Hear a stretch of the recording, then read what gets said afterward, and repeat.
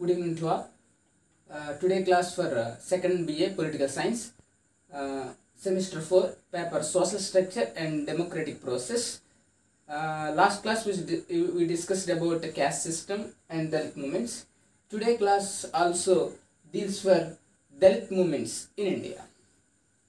Now we discussed about uh, Dalit movements during the British period. The Britishers worked hard to change the social system in India. They are also condemned the caste discrimination, social discrimination, untouchability in India. British వారు కూడా British వారి యొక్క పరిపాలన కాలంలో British వారు కూడా భారత సమాజంలో ఉన్నటువంటి ఈ యొక్క సాంఘిక వ్యవస్థను కావచ్చు వర్ణ వ్యవస్థను కావచ్చు లేకపోతే సామాజిక వివక్షను అలాగే సాంఘిక వివక్షను అలాగే అంటరానితనాన్ని నిషేధించడానికి వారు ఎంతగానో ప్రయత్నం చేశారు. వారు కుల వివక్షను ఆ విధంగానే సాంఘిక వివక్షను కూడా వారు నిర్మూలించడానికి వారు వ్యతిరేకించడానికి వారు ఎన్నో ప్రయత్నాలు చేసినట్లుగా మనం గమనించాలి. బ్రిటిష్ వారి పరిపాలనలో కూడా మనం బ్రిటిష్ వారు అనేకమైన చట్టాల ద్వారా అంటరానితనాన్ని కావచ్చు లేదా భారత సమాజంలో ఉన్నటువంటి దురాచారాలు. ఆ దురాచారాలు ఏంటంటే సతీసహగమనం అనే దురాచారం అంటరానితనం అనే దురాచారం దేవదాసి విధానం అనే దురాచారం స్త్రీలపై వివక్ష బాల్య వివాహాలు కుల వ్యవస్థ దళితుల పట్ల వివక్ష ఈ విధంగానే ఇవి మాత్రమే కాకుండా అనేకమైన దురా అనేకమైన ఈ యొక్క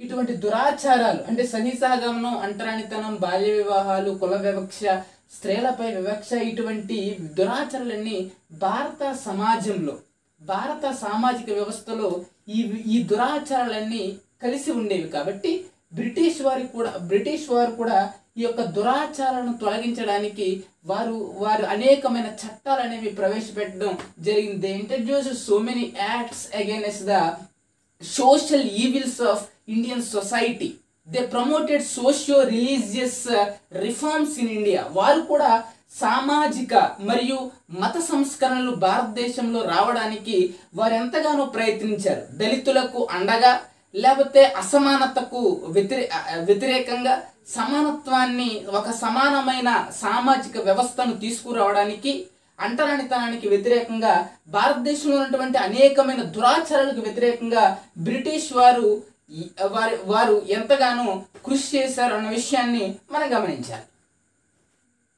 దళిత ఉద్యమాల్లో భాగంగా మనం బ్రిటిష్ వారి బ్రిటిష్ వారు దళిత దళితులకు సహాయంగా దళితుల పక్షానగా అనేకమైన సామాజిక దురాచరణకు వ్యతిరేకంగా ఏ విధంగా కృషి చేశారో మనం తెలుసుకున్నాం. అలాగే దళితులకు అండగా లేదా సామాజిక వ్యవస్థకు వ్యతిరేకంగా అనేకమైన సమాజాలు మనం స్థాపించారని నిన్నటి క్లాస్లో మనం తెలుసుకున్నాం. ఇప్పుడు మనం జ్యోతిబా పూలే అనే ఈ యొక్క సంఘ సంస్కర్త కోసం అతను చేసిన దళిత ఉద్యమాల కోసం లేదా అతని యొక్క అతడు కృషి చేసిన ఆ యొక్క సామాజిక వ్యవస్థకు వ్యతిరేకంగా కృషి చేసిన అనేక సందర్భాలను మనము ఈ సమయంలో మనం జ్ఞాపకం చేసుకోవాలి ఎందుకంటే Jyotiba Phule played a crucial role a major role in against the caste system and against the untouchability he bring the he bringing the awareness among the people among the Dalits among the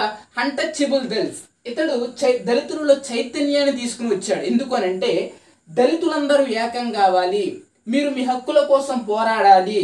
మీరు అందరూ కూడా అసమానతకు వ్యతిరేకంగా ఐక్యంగా ఉండి పోరాడాలని చెప్పి దళితులలో ఒక చైతన్యాన్ని తీసుకువచ్చిన వ్యక్తే మహాత్మా జ్యోతిబా పూలే.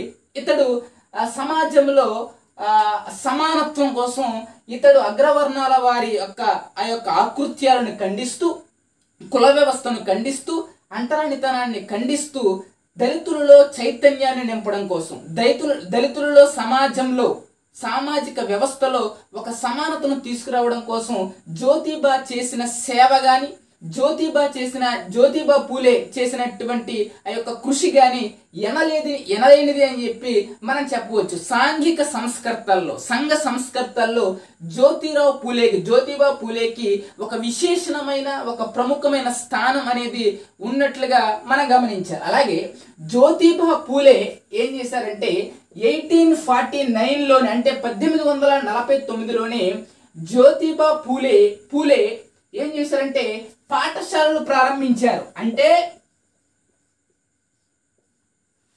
పాఠశాలలు ఎవరి కోసం అంటే ఆడపిల్లల కోసం. ఆడపిల్లల కోసం పూలే గారు పద్దెనిమిది వందల నలభై తొమ్మిదిలోనే ఆడపిల్లల పాఠశాలలు లేదా దళితుల పాఠశాలలు దళితుల కోసం పాఠశాలలు ప్రారంభించారు. ఎందుకంటే ఆ రోజుల్లో ఆడపిల్లలు చదువుకోవడానికి అవకాశం లేదు.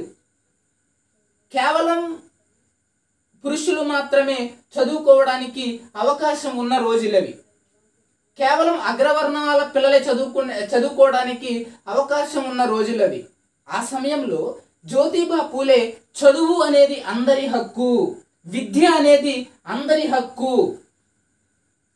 వివక్ష లేకుండా లింగ వివక్ష లేకుండా ఆడపిల్లలకు పురుషులకు సమానమైన విద్యా హక్కు ఉండాలని చెప్పి ఆడపిల్లల కోసం పాఠశాలలు ప్రారంభించారు అహ్మదాబాద్లో. అహ్మదాబాద్ బొంబే సతారా ఇటువంటి ప్రదేశాల్లో అనేకమైన పాఠశాలలను ఆడపిల్లల కోసం దళితుల కోసం వారికి విద్య అందించి వారిని అభివృద్ధి చేయడానికి వారిని చైతన్యవంతులను చేయడానికి వారిని కూడా సమాజంలో భాగం చేయడానికి వారికి కూడా విద్యా హక్కును ప్రసాదించడానికి జ్యోతిబా పూలే సంఘంలో లేదా సమాజంలో ఒక సంస్కరణలు తీసుకురావడానికి అతడు పాఠశాలలుగా అనేకమైన పాఠశాలలు వివిధ ప్రాంతాల్లో నెలకొల్పడం జరుగుతుంది. యాభై రెండవ సంవత్సరానికి వచ్చేసరికి జ్యోతిబా పూలే ఆధ్వర్యంలో వితంతు వితంతు గృహాలు అనేవి స్థాపించడం జరిగింది. అంటే వితంతు గృహాలు భర్త కోల్పోయిన వారికి. అంటే భర్తను కోల్పోయిన వారికి వితంతు గృహాలను ఏర్పాటు చేసే ఆలోచన జ్యోతిబా పూలే చేశారు. అంటే ఆనాటి కాలంలో ఉన్నటువంటి సతీ సహగమనం అనేటువంటి దురాచారాన్ని తొలగించాలని చెప్పి ఆయన అనేకమైన పోరాటాలు చేస్తూ ఆ యొక్క భర్తలను కోల్పోయిన వితంతువుల కోసం ఆయన వితంతు గృహాలు విడో హోమ్స్ అనేవి ఏర్పాటు చేయడం జరిగింది పద్దెనిమిది వందల యాభై రెండవ సంవత్సరంలో. అలాగే పద్దెనిమిది వందల అరవై నాలుగవ సంవత్సరానికి వచ్చేసరికి అనేకమైన అనాథాశ్రమాలను అనాథాశ్రమాలను ఆర్ఫనేజెస్ని ఈ యొక్క పూలే గారు స్థాపించడం జరిగింది. ఎవరి కోసం అంటే దళితుల కోసం సమాజంలో వెనకబడిన వర్గాల కోసం సమాజంలో బలహీనమైన వర్గాల కోసం సమాజంలో అంటరాని వారిగా పరిగణించబడే వారి కోసం సమాజంలో ఒక విలువ లేని వారి కోసం జ్యోతిబా పూలే అనేకమైన వితంతు గృహాలు అనేకమైన పాఠశాలలు అనేకమైన అనాథాశ్రమాలు స్థాపించినట్లుగా మన జ్ఞాపకం తెచ్చుకోవాలి. అలాగే పద్దెనిమిది వందల డెబ్బై మూడవ సంవత్సరానికి వచ్చేసరికి జ్యోతిబా పూలే సత్య శోధక్ సమాజ్. సత్య శోధక్ సమాజ్ అనే సమాజాన్ని స్థాపించి బలహీనమైన వర్గాల వారికి అణగారిన వర్గాల వారికి దళితులకు అండగా ఈ యొక్క సమాజాన్ని ఆయన స్థాపించడం జరిగింది. తర్వాత ఉత్తర భారతదేశంలో దళిత ఉద్యమాలు. అంటే భారతదేశంలో ఉత్తర భారతదేశంలో దళిత ఉద్యమాలు ఏ విధంగా జరిగాయి అని మనం పరిశీలించినట్లయితే నామ శూద్ర సంఘం బెంగాల్లో ఈ యొక్క నామ శూద్ర సంఘాన్ని శ్రీ ముకుంద్ బిహారీ శ్రీ హరిచంద్ ఠాగూర్ అనే వ్యక్తులు ఈ యొక్క నామ శూద్ర సంఘాన్ని స్థాపించడం జరిగింది. ఈ యొక్క సంఘం ఏం చేసిందంటే ఈ యొక్క సంస్థలు ఈ యొక్క సంఘాలు దళితుల కోసం ముఖ్యంగా దళితులు అన్ని రంగాల్లో అభివృద్ధి చెందాలి. ముఖ్యంగా విద్యా రంగంలో అభివృద్ధి చెందాలి మరియు రాజకీయంగా వారి అభివృద్ధి చెందాలి. వారికి రాజకీయ రిజర్వేషన్లు కల్పించాలి. దళితులందరికీ విద్యా హక్కు కల్పించాలి అని చెప్పి ఈ యొక్క సంఘం అనేది స్థాపించినట్లుగా మనం గమనించాలి. ఈ యొక్క సంఘం బెంగాల్ రాష్ట్రంలో బెంగాల్ ప్రాంతంలో శ్రీ ముకుంద్ బిహారీ శ్రీ హరిచంద్ ఠాగూర్ అనే వ్యక్తుల యొక్క ఆధ్వర్యంలో ఈ యొక్క నామశూద్ర సంఘం అనేది స్థాపించబడింది. ఈ యొక్క సంఘం యొక్క ఉద్దేశం ఏమిటి అని అంటే ఈ యొక్క సంఘం స్థాపించడానికి ఈ యొక్క స్థాపన లక్ష్యం ఏమిటి అని అంటే దళితుల కోసం అంటరాని వారి కోసం ప్రత్యేకంగా విద్యా సంస్థలు ఏర్పాటు చేయాలి. వారికి రాష్ట్ర అసెంబ్లీలో రిజర్వేషన్లు కల్పించాలి. పదిహేడు శాతం రిజర్వేషన్. ఈ యొక్క నామశూద్ర సంఘం యొక్క ముఖ్యమైన లక్ష్యాలు ఏంటంటే విద్యా సంస్థల స్థాపన విద్యా సంస్థల స్థాపన మరియు పదిహేడు శాతం రిజర్వేషన్. రిజర్వేషన్ అనేది కల్పించాలి. ఎవరికంటే దళితులకి. These organizations demanded that educational institutions set be uh, set, set up for Dalits, set up for uh, lower castes, and as 70% provided 70% reservations. For Dalits in the state assembly అని చెప్పి వీరు demand చేయడం జరిగింది. These organisations demand education institutions and seventy percent reservations for Dalits in the state assembly and next వీరు ఈ యొక్క డిమాండ్లు చేయడం మాత్రమే కాకుండా అప్పటి వరకు దళితులు అనేవాళ్ళు దళితులు అనే వాళ్ళని ఏమని పిలిచే పిలిచేవారు అని అంటే పంచములు లేదా చందాలులు చందాలురు అనే వారిగా వీరిని పిలవడం జరిగేది. అప్పుడు ఈ యొక్క నామశూద్ర సంఘం ఏమని డిమాండ్ చేసిందంటే ఈ యొక్క చండాలురు అనే పదాన్ని ఈ యొక్క నామశూద్ర సంఘం ఏం డిమాండ్ చేసిందంటే చండాలురు అనే పదాన్ని చండాలురు అనే పదాన్ని నిషేధించమని చెప్పి ఈ యొక్క నామశూద్ర సంఘం అనేది డిమాండ్ చేయడం జరిగింది. ఎవరైతే చండాలులుగా పిలువబడుతున్నారో దళితులు అనేవాళ్ళు అప్పటి వరకు చండాలులుగా పిలువబడేవారు. ఈ యొక్క పదాన్ని నిషేధించండి. ఈ యొక్క పదాన్ని నిషేధించి ఈ యొక్క పదాన్ని ఇంకెప్పుడు వాడుకలోకి తీసుకురావద్దు అని చెప్పి ఈ యొక్క చండాలు అనే పదాన్ని నిషేధించమని కోరింది ఎన్నో ఉద్యమాలు చేసింది ఎన్నో పోరాటాలు చేసింది దళితులకు అనుగుణంగా. ఫలితంగా పంతొమ్మిది పం- ఫలితంగా పంతొమ్మిది వందల ఎనభై తొమ్మిదవ సంవత్సరంలో సారీ ఫలితంగా పంతొమ్మిది వందల పదకొండవ సంవత్సరము జనాభా లెక్కల జనాభా గణాంకాల నివేదిక నుంచి నివేదికలో చండాలురు అనే పదాన్ని తొలగించినట్లుగా మనం గమనించాలి. వీళ్ళు ఈ యొక్క నామశూద్ర సంఘం అనేది ఈ యొక్క చండాలురు అనే పదాన్ని నిషేధించమని కోరింది. తద్వారా ఎన్నో పోరాటాలు చేసింది ఎన్నో ఉద్యమాలు చేసింది. తద్వారా పంతొమ్మిది వందల పదకొండు జనాభా గణాంకాల నివేదికలో ఈ యొక్క చండాలురు అనే పదాన్ని నిషేధించడం జరిగింది. These organizations demanded that educational institutions and 70% reservation of uh, Dalits in state assembly and also asked ban the term of Chandals. As result, the word Chandals was not uh, mentioned in the uh, 1911 census report. తర్వాత దక్షిణ భారతదేశంలో దళిత ఉద్యమాలు ఆ, దక్షిణ భారతీయులు కూడా ఈ యొక్క దళిత అంటరానితనానికి వ్యతిరేకంగా అనేక ఉద్యమాలు చరిత్రలో చేసినట్లుగా మనం గమనించవచ్చు. South Indian Dalits are fight against the untouchability and caste system Dalits untouchability and as a part of self respect movement దక్షిణ భారతదేశంలో కూడా ఈ యొక్క దళిత అంటరానితనానికి వ్యతిరేకంగా దక్షిణ భారతదేశంలో కూడా అనేకమైన ఉద్యమాలని మనం గమనించవచ్చు. దానిలో ఆత్మగౌరవ ఉద్యమంలో భాగంగా అనేకమైన పోరాటాలు చేసినట్లుగా మనం గమనించాం. దానిలో భాగంగా పంతొమ్మిది వందల తొంభైలో ఆది ద్రావిడ మహజన్ సభ ఆది ద్రావిడ మహజన్ సభ అనే దాన్ని ఏర్పాటు చేయడం జరిగింది. దానిలో భాగంగా దక్షిణ భారతదేశంలో దళితులకు అండగా దళిత ఉద్యమాలు అంటరానితనానికి కుల వ్యవస్థకు అంట సామాజిక వ్యవస్థకు సాంఘిక అంతస్తుల కట్టడం అని చెప్పి అవి చెప్పే వర్ణ వ్యవస్థకు వ్యతిరేకంగా దక్షిణ భారతదేశంలో కూడా అనేకమైన పోరాటాలు జరిగినట్లుగా మనం గమనించాం. దానిలో భాగంగా మనం పద్దెనిమిది వందల తొంభై సంవత్సరంలో ఆది ద్రావిడ మహజన్ సభ అనే సభ అనే సభను ఏర్పాటు చేయడం జరిగింది. ఈ యొక్క సభ ద్వారా ఈ యొక్క సభ ద్వారా ఎంఎస్ రాజా ఎంఎస్ రాజా అని చెప్పి ఈ యొక్క వ్యక్తి ఏం తెలియజేశాడు అంటే బలహీన వర్గాలుగా పిలువబడుతున్న వారు ఎవరైతే సమాజంలో బలహీన వర్గాలుగా పిలువబడుతున్న వారు వెనకబడిన వర్గాలకు చెందిన వారిని ద్రావిడులుగా పిలవాలి అని చెప్పి ఎంఎస్ రాజా ప్రతిపాదించినట్లుగా మనం గమనించాలి. వెనకబడిన వర్గాల వారిని వెనకబడిన వర్గాల వారిని ద్రావిడులుగా పిలవాలి. ద్రావిడులుగా పిలవాలి అని చెప్పి ఎంఎస్ రాజా అనే అతను తెలియజేసినట్లుగా మనం గమనించాలి. M S Raja proposed backward backward classes call call Dravidas called as ద్రావిడాస్గా పిలవాలని చెప్పి ఎంఎస్ రాజా ప్రతిపాదించినట్లుగా మనం గమనించాం. ఇది ఆది ద్రావిడ మహాజన్ సభ ద్వారా ఎంఎస్ రాజా వెనకబడిన వర్గాల వారిని ద్రావిడులుగా పిలవాలి అని చెప్పి అతను తెలియజేశాడు.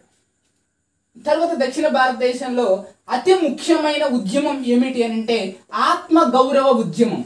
ఎవరి ఆత్మ గౌరవం అంటే దళితుల యొక్క ఆత్మ గౌరవ ఉద్యమం అని చెప్పి దళితుల యొక్క ఆత్మ గౌరవానికి సంబంధించి వారి యొక్క మర్యాదకు సంబంధించి ఆత్మ గౌరవ ఉద్యమం అనేది ఎంతో ప్రతిష్టమైన ఎంతో కీలకమైన ఉద్యమంగా మనం భావించాలి. ఈ యొక్క ఆత్మ గౌరవ ఉద్యమానికి నాయకుడైన ఈవి రామస్వామి అతన్ని పెరియర్గా మనం ప్రసిద్ధికి ఎక్కాడు అని చెప్పి మనం గమనించాలి. ఈవి రామస్వామి పెరియర్గా ఎంతో ప్రసిద్ధి చెందాడు. ఇతను ఆత్మగౌరవ ఉద్యమానికి నాయకుడిగా అతడు ఎంతో కీర్తి ప్రతిష్టలు పొందాడు. అతడు దళితుల యొక్క శృంఖలాలు బానిసత్వం అనే శృంఖలాలు వర్ణ వ్యవస్థ అనే శృంఖలాలు అంటరానితనం అనే శృంఖలాలు ఇటువంటి సంఖ్యలతో ఎప్పుడైతే ఈ యొక్క సంఖ్యలు తెంచుకోవాలి దళితులు అన్ని రంగాల్లో సమానత్వాన్ని సాధించాలి వారు చైతన్యవంతులు కావాలి అని చెప్పి వారి యొక్క శృంఖలాలు వారి యొక్క సంఖ్యలు తెంచుకోండి అని చెప్పి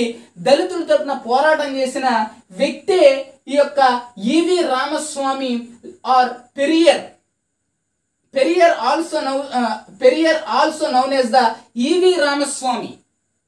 He is the father of the Dravidian movement ఇతడిని ఈ యొక్క ఈవి రామస్వామిని మనం ద్రావిడ ఉద్యమానికి పితామహుడిగా ద్రావిడ ఉద్యమానికి పితామహుడిగా మనం భావించాలి. పితామహుడిగా మనం భావించాలి. He call to break the shackles of the caste system and untouchability అని చెప్పి ఇతడు దళితుల్ని చైతన్యవంతులు చేయడంలో ఈ యొక్క ఆత్మగౌరవ ఉద్యమాన్ని నడిపించడంలో ఈ యొక్క ఈవి రామస్వామి పెరియర్ ఎంతో కృషి చేశాడు అని చెప్పి మనం గమనించాలి. తర్వాత పంతొమ్మిది వందల పదిహేడవ సంవత్సరంలో ఆది ఆంధ్ర ఆది ఆంధ్ర మహాసభ ఆది ఆంధ్ర మహాసభ అనే ఈ యొక్క సభను మన విజయవాడలో ఏర్పాటు చేయడం జరిగింది. ఈ యొక్క దళిత ఉద్యమాల్లో భాగంగా దక్షిణ భారతదేశంలో దళిత ఉద్యమాల్లో భాగంగా పంతొమ్మిది వందల పదిహేడవ సంవత్సరంలో ఆది ఆంధ్ర మహాసభ అనే సంస్థను ఆ యొక్క సభను విజయవాడలో ఏర్పరిచి దళితుల హక్కుల కోసం ఈ యొక్క సభ ఎంతగానో కృషి చేసింది అని మనం చెప్పవచ్చు. తర్వాత హైదరాబాద్ రాష్ట్రంలో తరువాత హైదరాబాద్ రాష్ట్రంలో మాన్య సంఘం మాన్య సంఘం. మాన్య సంఘాన్ని కొంతమంది వ్యక్తులు స్థాపించడం జరిగింది. దానిలో భాగ్యవర్మారెడ్డి. భాగ్యవర్మరెడ్డి తర్వాత ఎం ఆదయ్య అని చెప్పి ఈ యొక్క సంఘ సంస్కర్తలు లేదా ఈ యొక్క దళిత దళిత ఉద్యమానికి కృషి చేస్తున్న ఈ యొక్క భాగ్యరెడ్డి వర్మ తరువాత ఎం ఆదయ్య అరిగే రామస్వామి అని చెప్పి కొంతమంది వ్యక్తులు హైదరాబాద్ రాష్ట్రంలో మాన్య సంఘాన్ని స్థాపించి దళిత పోరాటాలకు ఎంతగానో స్ఫూర్తినిచ్చి దళితులు దళితుల్ని చైతన్యపరచడంలో దళితులకు అండగా వర్ణ వ్యవస్థకు కుల వ్యవస్థకు అంటరానితనానికి వ్యతిరేకంగా హైదరాబాద్ రాష్ట్రంలో మాన్య సంఘాన్ని Bhagyareddy Varma and M and M Adaiah Arige Ramaswamy వంటి ప్రముఖులు హైదరాబాద్ రాష్ట్రంలో మాన్య సంఘాన్ని ఏర్పరిచి దళిత ఉద్యమానికి ఎంతగానో స్ఫూర్తినిచ్చారు అన్న విషయాన్ని మనం గమనించాలి. ఇవన్నీ కూడా దక్షిణ భారతదేశంలో అలాగే ఉత్తర భారతదేశంలో దళిత ఉద్యమాల కోసం మనం తెలుసుకున్నాం. తరువాత మనం డాక్టర్ బిఆర్ అంబేద్కర్ దళిత ఉద్యమాలు అని చెప్పి మనం ఇప్పుడు మనం తెలుసుకోవడానికి ప్రయత్నం చేద్దాం. డాక్టర్ బిఆర్ అంబేద్కర్ దళిత ఉద్యమాలు. డాక్టర్ బిఆర్ అంబేద్కర్ ఒక సంఘ సంస్కర్త.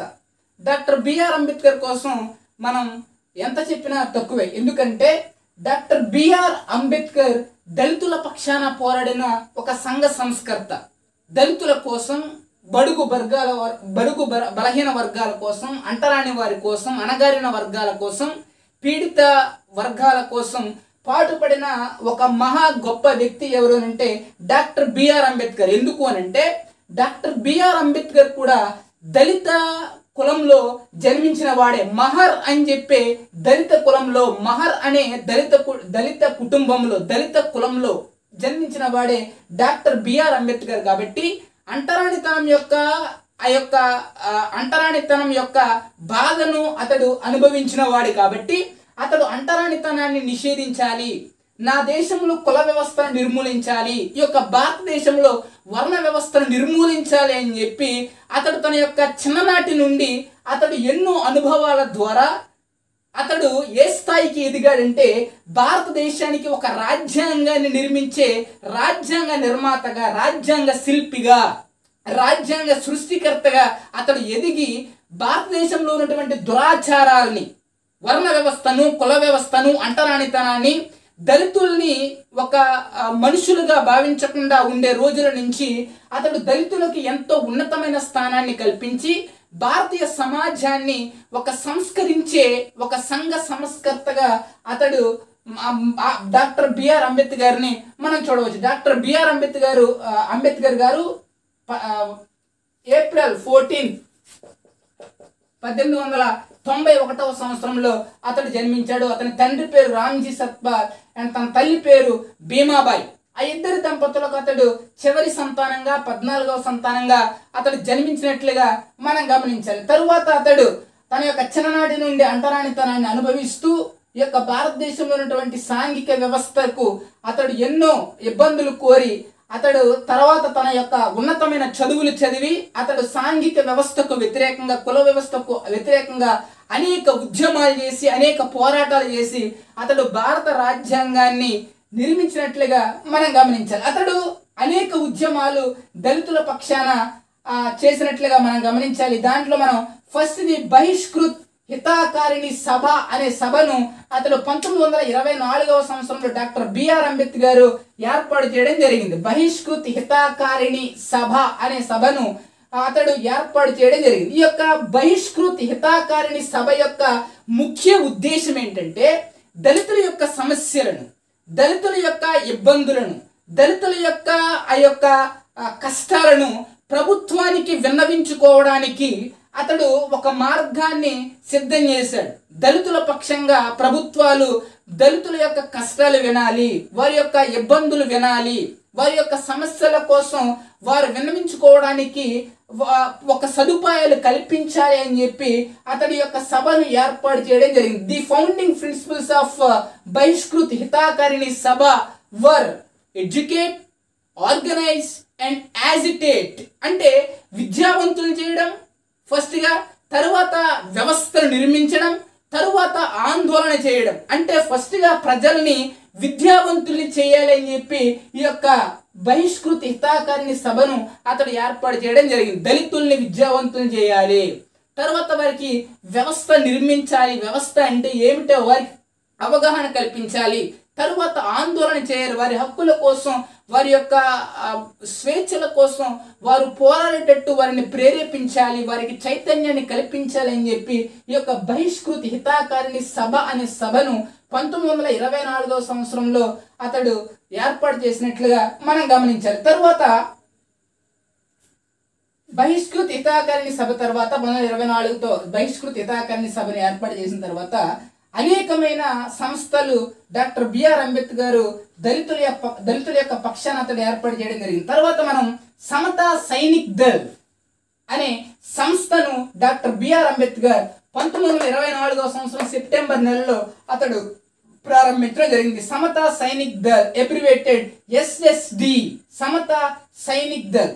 ఈ యొక్క సమతా సైనిక్ దళ్ యొక్క ముఖ్యమైన లక్ష్య లక్ష్యం ఏమిటి అని అంటే ఈ యొక్క ఉద్దేశం ఏంటంటే ఈ యొక్క సంఘం లేదా ఈ యొక్క సంస్థ యొక్క ముఖ్య ఉద్దేశం ఏంటంటే దళితుల హక్కుల్ని కాపాడాలి. To safeguard the rights of oppressed class right safeguard the rights of Dalit castes అంటే వారి యొక్క హక్కుల్ని కాపాడడం కోసం ఈ యొక్క సమత సైనిక్ దల్ అని చెప్పే ఈ యొక్క సంస్థను స్థాపించడం జరిగింది. ఆల్ ఇండియా ఈక్వాలిటీ అనే ఫార్ములా ద్వారా. సమానత్వం. అందరూ సమానమే మనుషులందరూ సమాజమే సమానమే. సమాజంలో ఉన్న ప్రజలందరూ సమానమే అనే ఉద్దేశంతో ఈ యొక్క సమత సైనిక్ దల్ అనే సంస్థను పంతొమ్మిది ఇరవై నాలుగవ సంవత్సరం సెప్టెంబర్ నెలలో డాక్టర్ బిఆర్ అంబేద్కర్ గారు ప్రారంభించినట్లుగా మనం గమనించాలి. దీన్ని ఇంగ్లీష్లో ఎస్ఎస్డి అంటారు. Samata Sainik Dal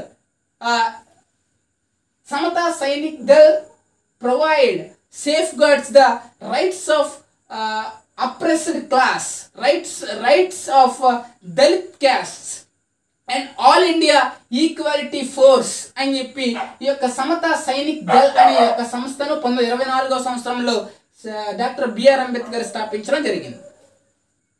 తర్వాత మహద్ ఉద్యమం అని చెప్పి డాక్టర్ బిఆర్ అంబేద్కర్ మహద్ చెరువు ఉద్యమం అనే ఉద్యమాన్ని పంతొమ్మిది వందల ఇరవై ఏడవ సంవత్సరంలో ప్రారంభించినట్లుగా మనం గమనించాలి. ఈ యొక్క మహద్ ఉద్యమం అనేది చరిత్రలో ఒక గొప్ప ఉద్యమం. ఏమిటి అంటే మహద్ బొంబాయి నగర యొక్క సమీపంలో మహద్ అనే గ్రామంలో ఊరి చివర ఉన్న చెరువులో దళితుల యొక్క దళితులకు మంచినీరు త్రాగడానికి అవకాశం లేదు. కానీ అదే సరస్సులో లేదా అదే చెరువులో అనేకమైన పశువులు వెళ్ళి మంచినీరు త్రాగేవి. కానీ దళితులకు మాత్రం ఈ యొక్క మహత్ గ్రామంలో ఉన్న చెరువులో మంచినీళ్ళు త్రావడా త్రాగడానికి అవకాశం ఉండేది కాదు. దాన్ని గమనించిన డాక్టర్ బిఆర్ అంబేద్కర్ గారు మార్చి నెలలో మార్చి పదవ తారీఖున పంతొమ్మిది ఇరవై ఏడవ సంవత్సరంలో అనేక మంది వేలాది మంది దళిత కార్యకర్తలను వెంట పెట్టుకుని అదే మహత్ గ్రామంలో ఉన్న చెరువులో దిగి వారు మంచినీళ్ళు త్రాగినట్లుగా మనం గమనించాలి. అదే చారిత్రాత్మక మహద్ ఉద్యమం. ఈ యొక్క మహత్ ఉద్యమం అంటే ఏంటంటే దళితులకి మంచినీరు త్రాగే అవకాశం. అంటే దళితులకి మంచినీరు త్రాగే అవకాశం కూడా ఆ రోజుల్లో ఉండేది కాదు.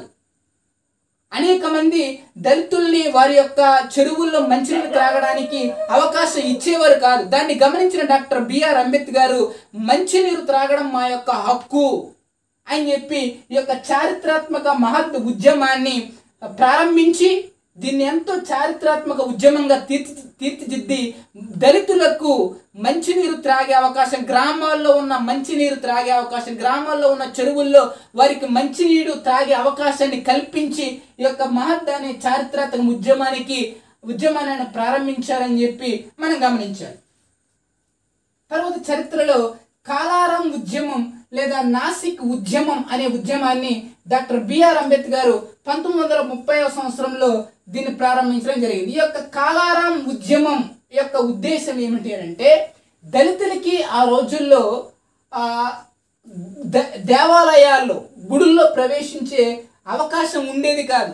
ఏ విధంగా అయితే మంచినీరు త్రాగే అవకాశం ఉండేది కాదో దళితులకి అంటరాని వారికి బలహీనమైన వర్గాల వారికి దేవాలయాల్లో హిందూ దేవాలయాల్లో గుడుల్లో వారికి ప్రవేశం అనేది నిషేధం. అటువంటి సమయంలో కాలారం ఉద్యమం ద్వారా డాక్టర్ బిఆర్ అంబేద్కర్ దళితుల్లో చైతన్యం తీసుకువచ్చి మేము కూడా దేవాలయాల్లో ప్రవేశించడానికి దళితులు కూడా దేవాలయాల్లో ప్రవేశించడానికి దైవ దర్శనాలు చేసుకోవడానికి మాకు హక్కు ఉంది అని చెప్పి ఈ యొక్క ఉద్యమాన్ని ప్రారంభించి అనేక మంది వేలాది మంది కార్యకర్తల సమూహంతో అనేక మంది దళిత యువతుల యొక్క సహకారంతో అతను పంతొమ్మిది వందల ముప్పై సంవత్సరంలో ఈ యొక్క కాలారాం ఉద్యమాన్ని లేదా నాసిక్లో ఈ ఉద్యమాన్ని ప్రారంభించడం జరిగింది. ఈ యొక్క నాసిక్ ఉద్యమాన్ని ప్రారంభించి వారు అనేక మంది వేలాది మంది కార్యకర్తల స- కార్యకర్తలు సహా గుడిలోకి వెళ్ళడానికి దైవ దర్శనం చేసుకోవడానికి గుడిలో ప్రవేశించే ప్రవేశించే ఉద్దేశంతో వేలాది మంది కార్యకర్తల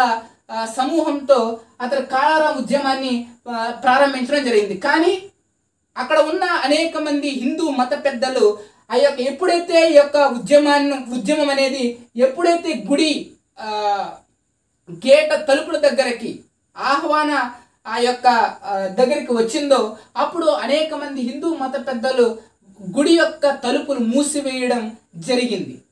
Okay the doctor B R Ambedkar started Kalaram movement or Nasik movement to visit the god for uh, for with the order, discipline, determine the to see the god for the first time when this movement reached the uh, temple gates the hindu priests closed the gates of the temple అంటే ఎప్పుడైతే ఉద్యమం అనేది దేవాలయ తలుపుల దగ్గరికి వచ్చిందో ఆ యొక్క హిందూ మత పెద్దలు దేవాలయం యొక్క తలుపులు మూసివేసి ఈ యొక్క ఉద్యమంలో ఈ యొక్క ఉద్యమ లక్ష్యాన్ని వారు పాడు చేసినట్లుగా మనం గమనించాలి. ఈ యొక్క ఉద్యమాల తర్వాత ఈ ఉద్యమాలే కాకుండా డాక్టర్ బిఆర్ అంబేద్కర్ అనేకమైన గ్రంథాల ద్వారా అనేకమైన రచనల ద్వారా దళితుల పట్ల జరుగుతున్న వివక్షను దళితులకు వ్యతిరేకంగా ఉన్నటువంటి ఆ యొక్క విధానాలను వ్యతిరేకిస్తూ అనేకమైన గ్రంథాలను అనేకమైన గ్రంథాలను రచించడం జరిగింది. దానిలో ముఖ్యంగా మనం గ్రహించ గుర్తుంచుకోవాల్సిన గ్రంథాలు ఆ యొక్క పుస్తకాలు ఏంటంటే annihilation of caste and who were Shudras the untouchability అనే గ్రంథాలు చాలా ప్రాముఖ్యమైనవి. అంత మాత్రమే కాకుండా భారత రాజ్యాంగాన్ని నిర్మించడం ద్వారా డాక్టర్ బిఆర్ అంబేద్కర్ ప్రపంచంలోనే అతిపెద్ద లిఖిత రాజ్యాంగాన్ని నిర్మించే రాజ్యాంగ అసెంబ్లీకి అతడు అధ్యక్షుడై చైర్మన్గా ఉండి ప్రపంచ దేశాలన్నిటికంటే ఒక బలమైన రాజ్యాంగాన్ని దేశ సామాజిక వ్యవస్థకు కానీ దేశంలో ఉన్నటువంటి ప్రజలందరూ సమానులే చట్టం ముందు అందరూ సమానులే. ప్రజలందరి మధ్య ఎటు ఎటువంటి వివక్షలు ఉండకూడదు. దళితుల్ని మనం వివక్షకు గురి చేయకూడదు అని చెప్పి దళితుల పక్షాన ప్రజలందరి పక్షాన ఒక మహోన్నతమైన రాజ్యాంగాన్ని సృష్టించి భారత ప్రజలందరికీ అంకితం ఇచ్చిన ఒక గొప్ప సంఘ సంస్కర్త ఒక భారత రాజ్యాంగ నిర్మాణకుడు ఒక దళిత నేత లేదా ఒక దళిత నేతగా కాదు ఒక రాజ్యాంగ నేతగా. ఒక రాజ్యాంగబద్ధమైన సమాజాన్ని నిర్మించడంలో దళితులకు అండగా డాక్టర్ బిఆర్ అంబేద్కర్ చేసిన సేవ అనేది ఎనలేనివి అని చెప్పి మనం గమనించాలి. స్వాతంత్రానంతరం దళిత ఉద్యమాలు. స్వతంత్రానంతరం దళిత ఉద్యమాల్లో భాగంగా మనం పంతొమ్మిది వందల యాభై ఏడవ సంవత్సరంలో ఇండియన్ రిపబ్లిక్ పార్టీ అని చెప్పి ఒక రాజకీయ పార్టీ ఏర్పడడం జరిగింది. ఈ యొక్క రాజకీయ పార్టీ యొక్క ముఖ్య ఉద్దేశం ఏంటంటే దళితుల యొక్క సంక్షేమం దళితుల యొక్క అభివృద్ధి దళితుల యొక్క రాజకీయ హక్కులు. ఈ యొక్క అంశాల కోసం ఈ లక్ష్యాల కోసం పంతొమ్మిది వందల యాభై ఏడవ సంవత్సరంలో ఇండియన్ రిపబ్లిక్ పార్టీ అనేది అనేది స్థాపించబడడం ఆ, అనేది జరిగింది Republic Party of India is a political party political party it has its roots in the scheduled caste development అంటే ఈ యొక్క పార్టీ యొక్క ముఖ్య ఉద్దేశం ఏంటంటే దళితుల యొక్క సంక్షేమం దళితుల యొక్క అభివృద్ధి లక్ష్యంగా ఈ యొక్క ఇండియన్ రిపబ్లిక్ పార్టీ అనేది ఏర్పాటు చేయడం స్థాపించడం జరిగింది. తరువాత పంతొమ్మిది వందల డెబ్బై రెండవ సంవత్సరంలో దళిత పాంతర్స్ ఉద్యమం అనేది స్థాపించడం జరిగింది ప్రారంభించడం జరిగింది. ఈ యొక్క దళిత పాంతర్స్ యొక్క ఉద్యమం లక్ష్యం ఏమిటి అని అంటే భారతదేశంలో దళితుల యొక్క సంక్షేమమే స్ఫూర్తిగా ఈ యొక్క దళిత పాంతర్స్ ఉద్యమం అనేది స్థాపించబడడం జరిగింది. ఈ యొక్క దళిత పాంతర్స్ ఉద్యమం అనేది పంతొమ్మిది వందల డెబ్బై రెండవ సంవత్సరంలో ప్రారంభమైంది.